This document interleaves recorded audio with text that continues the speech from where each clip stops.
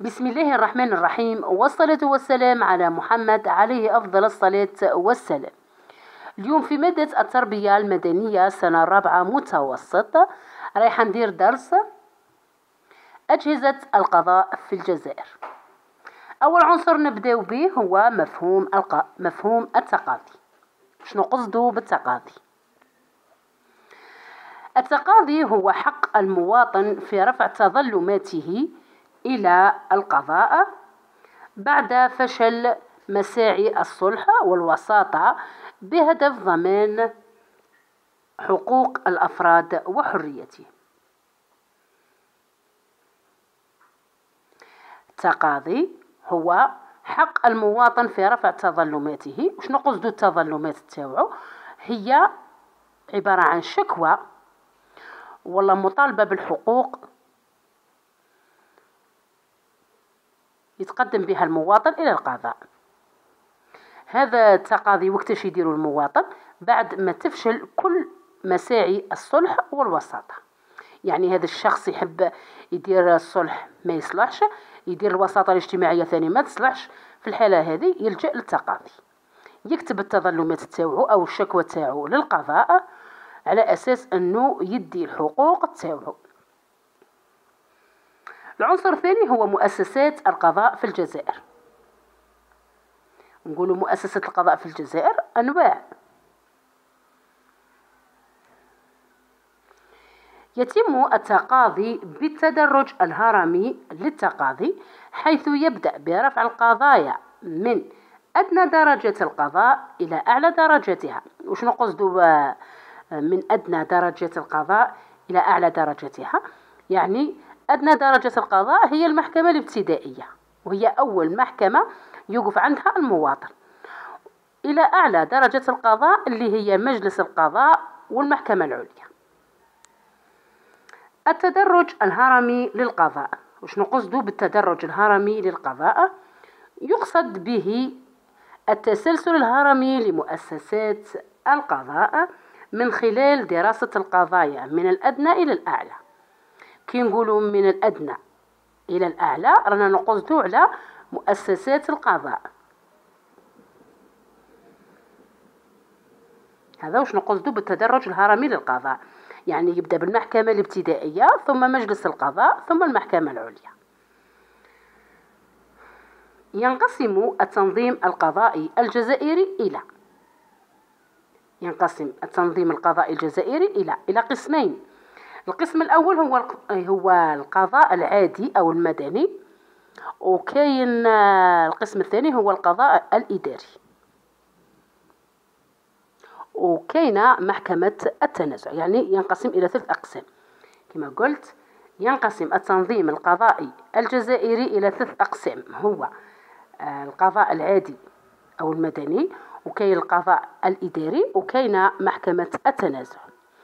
إحنا أول آه، قسم رايحين نبداو به هو آه، القضاء العادي المدني. يعني كي يقول لك القضاء العادي أو يقول لك القضاء المدني عندها نفس المعنى. القضاء العادي أو المدني وشنو هي الدور تاعو؟ والله وش نقصدو به؟ نقولوا باللي هو يفصل في النزاعات التي تنشأ بين الأفراد ويتشكل هرم القضاء العادي الجزائري من الأجهزة القضائية التالية. هذا القضاء العادي المدنية الأجهزة تاوعو وشن هي؟ هي هي محكمة ابتدائية هي مجلس قضاء وهي محكمة عليا. ثلاثة. هذا بالنسبة للقضاء العادي المدني. الأجهزة تاوعو وشن هي؟ هي هي محكمة إبتدائية ومجلس قضاء ومحكمة عليا. المحكمة الإبتدائية وشن هي؟ هي هي أول جهة قضائية أي درجة أولى ترفع إليها أغلب القضايا. تصدر أحكام إبتدائية توجد على مستوى أغلب الدوائر. يعني المحكمة الإبتدائية نلقوها في الدوائر. هي أول جهة قضائية وهي درجة أولى في القضاء. ترفع إليها أغلب القضايا وتصدر أحكام ابتدائية. بالنسبة لمجلس القضاء المجالس القضائية يعتبر درجة ثانية. يعني المحكمة الابتدائية قلنا درجة أولى. مجلس القضاء هو درجة ثانية في القضاء المدني أو العادي. يفصل في استئناف الأحكام الابتدائية الصادرة عن محاكم الابتدائية.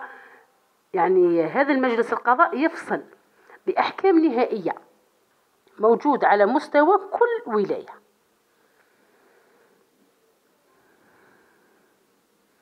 المحكمة الابتدائية تصدر حكم ابتدائي. اللي ما عجبوش الحكم هذا يستأنف المجلس القضاء. مجلس القضاء رايح ينظر في القضية ويصدر حكم نهائي. كاين آه، القسم الثالث هو المحكمة العليا. المحكمة العليا تأتي في قمة الهرم القضائي الجزائري. تسهر على تطبيق القانون وتوحيد الاجتهاد القضائي. تقوم بتقويم أعمال المحاكم والمجالس القضائية ولا تعتبر درجة ثالثة في التقاضي. توجد بالجزائر العاصمة. يعني قلنا أقسام والله الأجهزة القضائية نتاع القضاء العادي أو المدني وش هي هي؟ هي محكمة ابتدائية ومجلس قضاء ومحكمة عليا. المحكمة الابتدائية هي درجة أولى بالنسبة للقضاء. مجلس القضاء هو درجة ثانية بالنسبة للقضاء. المحكمة العليا ما هيش درجة ثالثة. المحكمة الأولى تصدر أحكام ابتدائية. المحكمة آه، أو مجلس القضاء رايح يفصل في الاستئناف تاع المحكمة الابتدائية ويصدر حكم نهائي. اللي ما عجبوش الحكم تاع المجلس القضاء رايح يطلع الحكم للمحكمة العليا. المحكمة العليا ما تعاودش تدير جلسة في المحكمة العليا ويعاودوا ينظروا في القضية ويعاودوا يصدروا حكم واحد آخر. لا. في المحكمة العليا رايحين يشوفوا الحكم إذا كما نقولوا حنايا مليح والله ما هوش مليح لكن هو اللي لقاو بلي الحكم يعني آه، معقول ومنطقي وقانوني. رايحين كما نقولوا حنايا يأيدوا الحكم تاع مجلس القضاء. لكن لقاو باللي آه، آه، كما نقولوا حنايا الحكم فيه شوية هكذا شوية ما يقنعش والله ماهوش مليح. يعاودوا الحكم تاع مجلس القضاء يقلبوه لمجلس القضاء ويقول لهم باللي القضية هذه لازم تعاودوا ديروا لها جلسة جديدة ويحضر فيها قاضي واحد آخر وينظروا في القضية ويديروا حكم جديد. هذا بالنسبة للمحكمة العليا. قلنا باللي آه، التنظيم القضائي الجزائري ينقسم إلى ثلاث أقسام. قلنا باللي آه، القسم الأول هو القضاء العادي أو المدني والقسم الثاني هو القضاء الإداري والقسم الثالث والأخير هو محكمة التنازع. هدرنا على القضاء العادي أو المدني دوك رايحين نهضروا على القضاء الإداري. فالقضاء الإداري هو يفصل في القضايا التي تكون الدولة طرفا فيها وينقسم إلى محكمة إدارية ومجلس الدولة. المحكمة الإدارية هي الدرجة الأولى من درجات التقاضي الإداري يوجد 42 محكمة على مستوى الولايات. كما قلت المحكمة الإدارية كاينة 42 محكمة إدارية متواجدة على مستوى الولايات. والمجلس الثاني أو القسم الثاني تاع القضاء الإداري هو مجلس الدولة. مجلس الدولة يمثل جهاز للقضاء الإداري وهي هيئة مقومة لأعمال المحاكم الإدارية يعني مقومة يعني تعمل يعني تابعة آه، يعني مهيئة ولا مؤهلة لأعمال المحاكم الإدارية يعني تكملها. يعني مجلس الدولة يكمل المحكمة الإدارية يكملوا بعضها. كما المحكمة الابتدائية ومجلس القضاء. نفسهم كيف كيف. ف في القضاء العادي أو المدني إخي قلنا بلي الأقسام تاوعو محكمة ابتدائية ومجلس قضاء. نفس الشيء بالنسبة للقضاء الإداري فيه محكمة إدارية وفيه مجلس الدولة. يعني ذوك مجلس الدولة هذا يكمل المحكمة الإدارية ويعتبر جهاز للقضاء الإداري وهي هيئة مقومة لأعمال المحاكم الإدارية ويعمل على توحيد الاجتهاد القضائي الإداري والسهر على احترام القانون يوجد مقره بالعاصمة. تقريبا مجلس الدولة يعمل نفس العمل تاع المحكمة العليا. كيف كيف؟ هذيك جاية في العاصمة هذا المقر تاعو ثاني جاي في العاصمة. الآخر يعمل على توحيد الاجتهاد القضائي هذا ثاني يعمل على توحيد الاجتهاد القضائي. هذاك يعمل على السهر على احترام القوانين هذا ثاني يعمل على السهر على احترام القوانين. يعني تقريبا كيف كيف نفس المهام آه الثالث إحنا خي قلنا تنظيم القضاء الجزائري ينقسم إلى ثلاث أقسام. القسم الثالث هو محكمة التنازع. وشنو قصدوا بها؟ محكمة التنازع تقوم بالفصل في التنازع حول الاختصاص بين الجهات القضائية. هذه هنا وش نقصدوا بها؟ مثلا أنا من سطيف. وأنا ضحية. وكاين متهم مثلا من ولاية خارج ولاية سطيف. أنا مقيمة في ولاية سطيف. والشخص أو الطرف الآخر مقيم في ولاية واحدة أخرى من الجزائر ولاية واحدة أخرى. أنا مقيمة في ولاية وهو مقيم في ولاية واحدة أخرى. أنا ضحية وهو متهم. كي نرفع القضية والله هو يرفع القضية. في الولاية اللي يسكن فيها هو ويستدعيني أنا باش نروح نترافع في القضية تاعو. أنا واش نوقف قدام القاضي واش نقول؟ نقول أنا نقول باللي آه ما تنظرش في القضية تاعي والله تشوفني أنا ضحية ولا متهمة وإنما أنا نقول باللي عدم الاختصاص. يعني هذا القضية هذه ما ما تنظرليش فيها المحكمة تاع الشخص هذا تاع هذا المتهم.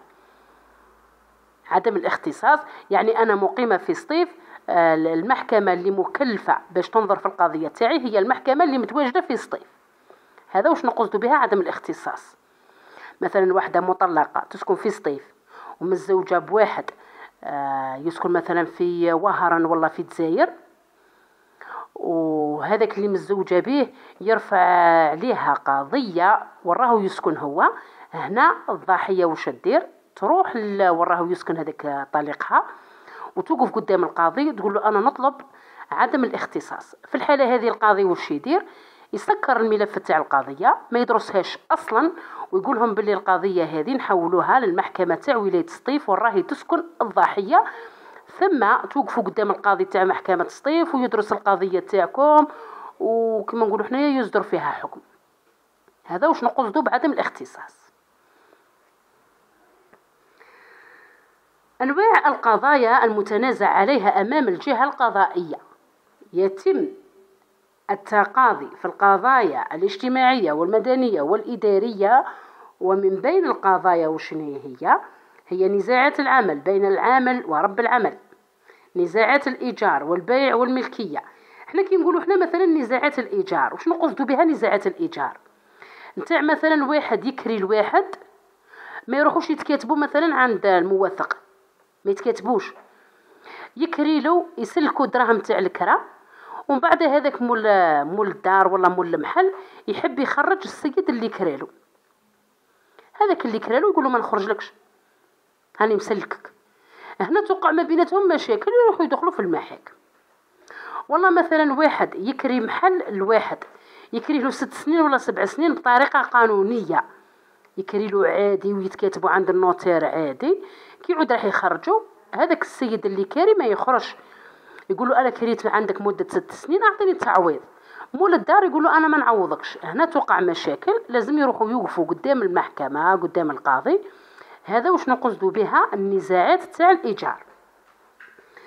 آه، الاعتداء على الأملاك العمومية مثل البناء على أرض للدوله مثلا واحد يلقى أرض مهجورة واحد ما هو باني فيها واحد ما هو يحرث فيها.